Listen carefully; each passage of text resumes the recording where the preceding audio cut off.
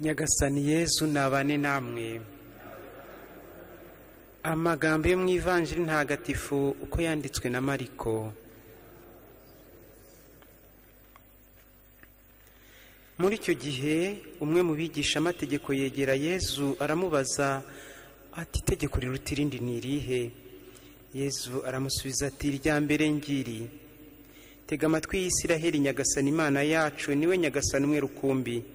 Urajya ukunda nyagasani imana yawe n'umutima wawe wose n'amagara yawe yose n'ubwenge bwawe bwose n'imbaraga zawe zose. Irya kabiri naryo ngiri. Urajya ukunda mugenzi wawe nk'uko wikunda. Nta rindi tegeko riruta aya yombi. Uwo mwigisha amategeko aramubwira ati ni koko mwigisha uvuze ukuri? Kuko nyagasani ari umwe rukumbi kandi nta yindi mana ibaho uretse yo yonyine. Kandi kuyikunda n'umutima wawe wose n'ubwenge bwawe bwose n'amagara yawe yose ugakunda mugenzi wawe nk'uko wikunda ibyo biruta ibitambo n'amaturo byose. Yezu yumvise ko amusubije neza aramubwira ati ntabwo uri kure y'ingoma y'imana. Nuko ntihagire utinyuka kongera kugira icyamubaza. Iyo ni ivanjiri ntagatifu.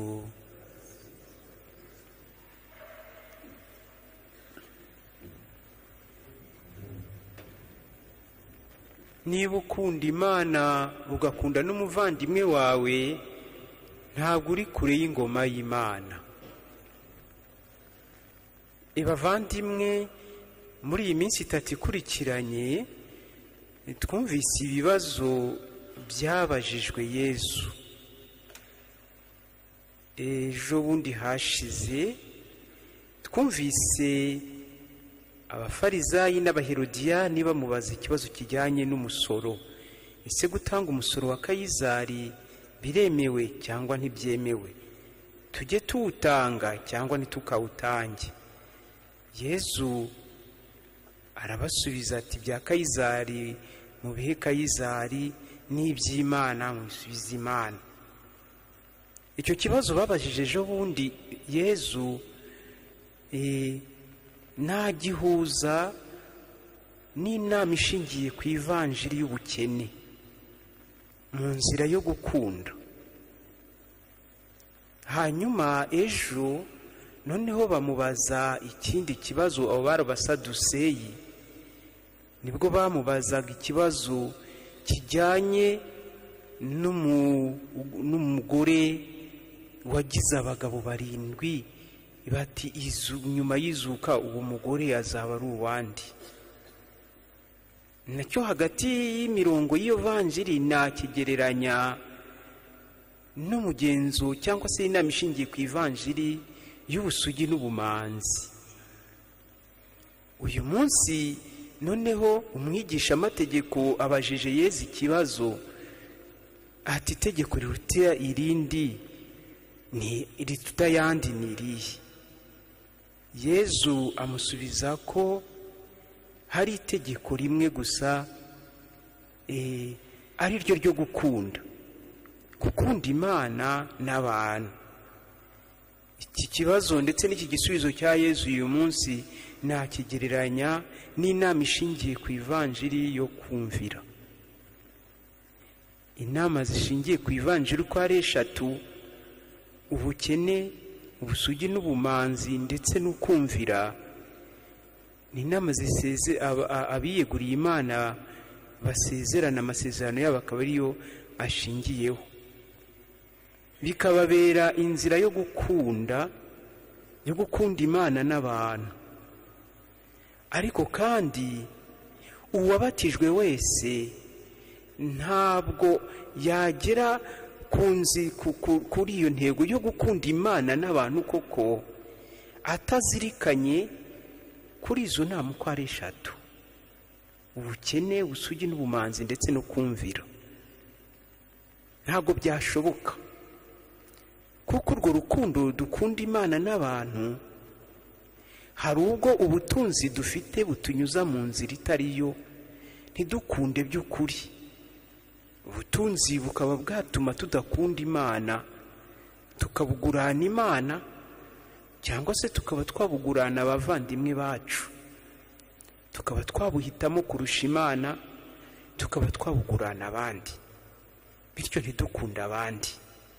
Umukristo uwo ari we wese rero inama ishingiye ku ivanjiri y'ubukene yamufasha kubana neza n'ibiriho ibyaremwe byose nk'uko nabigarutse ejo bundi.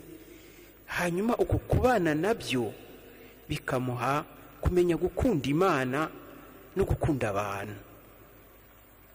Naho rero ku kibazo cy'ejo navugaga cy'ubusugi n'ubumanzi byigaragariza cyane kuba kubiyeguriye imana bagomba kugira umubano utagira amakemwa kandi usukuye n'abo babana nabo bahuje igitsina ndetse n'abo badahuje igitsina ariko n'abashakanye byigaragazamo cyane ko uwo mwashakanye atari igikoresho ukwiye gukoresha kugira ngo wishimishe ndetse n'umubano ugirana n'abandi batari uwo mwashakanye abo muhurira hirya no hino. Icyo kibuga rero cy'umubanire w'umugabo n'umugore cyangwa se w'umugabo n'umugabo muri iyi minsi n'umugore n'umugore ari uwo mwashakanye cyangwa se atari uwo mwashakanye ni ikibuga cy'ubutagatifu gikomeye cyane. Cyatuma umuntu abaho mu nzira kuko y'ugukunda. Ugakunda undi kubera ko ari undi ukamukundira icyari kandi ukamenya yuko ukwiye gukundwa kurusha abandi ko ari imana.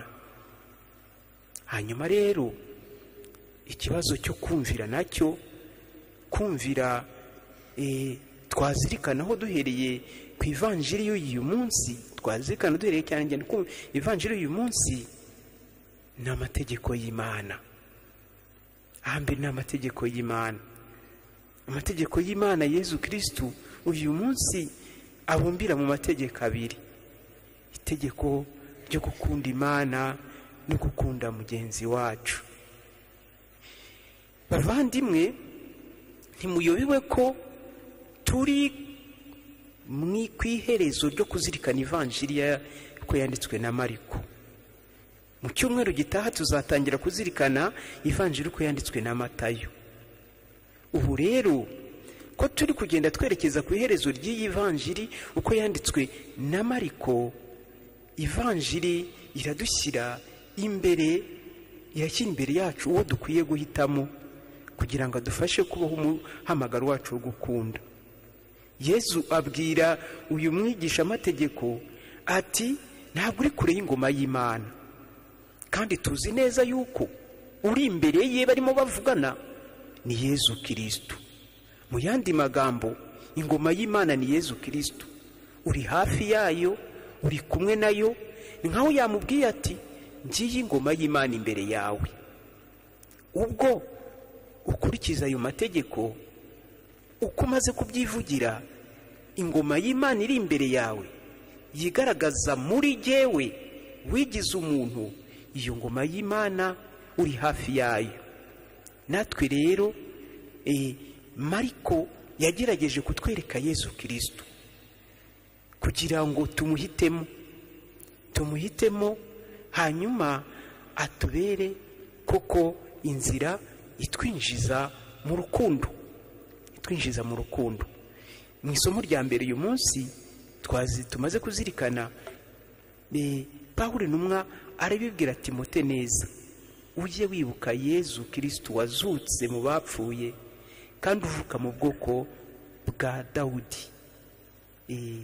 Iyi nteruro yonyine ikubiyemo indangakwemera yacu yose. Yezu kirisitu imana rwose n'umuntu rwose. Yezu kirisitu wazutse bigaragaza ko ari imana rwose wo mu bwoko bwa dawudi bigaragaza ko ari umuntu rwose. Uyu munsi rero dusabe kugira ngo uwo yezu kirisitu ivanjiri twereka tugomba guhitamo ijambo ry'imana ritwereka uyu munsi aduha iyo ngabire yo gusubiza umuhamagaro wacu wo gukunda. Bigaragarira mu mubano wacu n'ibintu mu mubano wacu n'abantu no mu mubano wacu n'imana.